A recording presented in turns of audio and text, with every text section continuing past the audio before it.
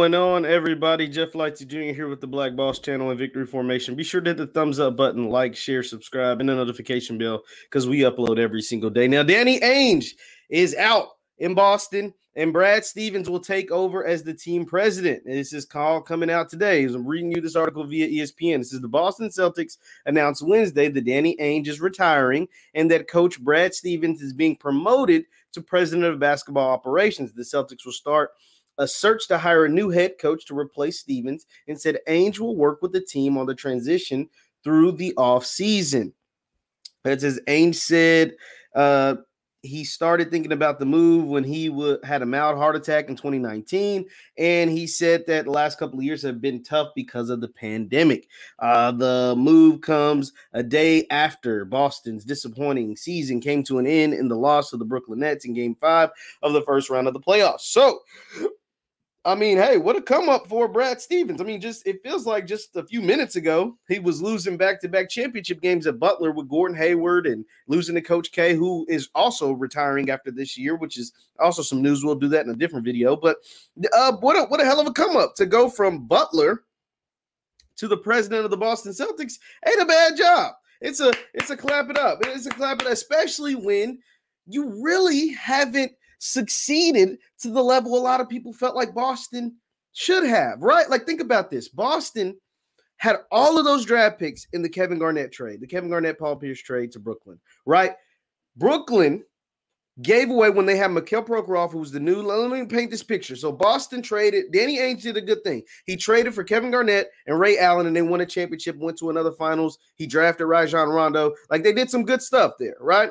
So once that era was over, the writing was on the wall, the era was over. He actually finessed the hell out of Brooklyn. He got like a ton of first round picks from Brooklyn, which ended up being because once he traded Paul Pierce and Kevin Garnett, they weren't good anymore, and he knew it, and they were expensive and they were old. And so he traded, like Brooklyn traded all their first round picks for the next like five years, right? To Boston. And those picks ended up being Jaylen Brown at number three overall. They actually had the number one overall pick and were able to finesse Philly, and they went up and got Markelle Fultz. Boston trades back to three. Lakers take Lonzo Ball at two, and they get Jayson Tatum. So they get Jaylen Brown, Jayson Tatum out of that. They were also able to sign Kyrie Irving at one point. They were also able to sign Gordon Hayward at one point. And to show for that, zero finals appearances, two Eastern Conference finals, and that's it. That's it. Like that. That's that's all you get with Boston. And so to a lot of people, especially with that trade, the Brad Stevens as head coach experiment coming out of Butler, he was the genius. He was the mad genius. He was the Sean how Sean McVay and uh and and Kyle Shanahan are to the NFL. That was Brad Stevens eight years ago when he first got hired. It's been eight years already. When he first got hired in Boston, you had Isaiah Thomas. You know he was he was averaging thirty points a game at one point uh, for a whole season under Brad Stevens. And the, the, the mantra was Brad Stevens does more with less. A guy like Isaiah Thomas, who's always been a pretty good NBA player, became a star under Brad Stevens. But when he has stars like a Kyrie Irving, it doesn't seem to work. That's weird to me. That doesn't sound like a success to me. Because as a as a head coach in the NBA, you only win with stars. Stars are what win in the NBA. Superstars, to be exact, are what win in the NBA. And so Brad Stevens always did more with less. So I, I, say all of that to say this his transition to the front office as the president of the team, he's going to have to figure out a way to get stars because clearly what they got going on in Boston right now, no head coach can fix. Brad Stevens was supposed to be the head coach to fix it. You got Tatum, who's a star. You got Jaylen Brown, who's a really, really good player. Both were all stars.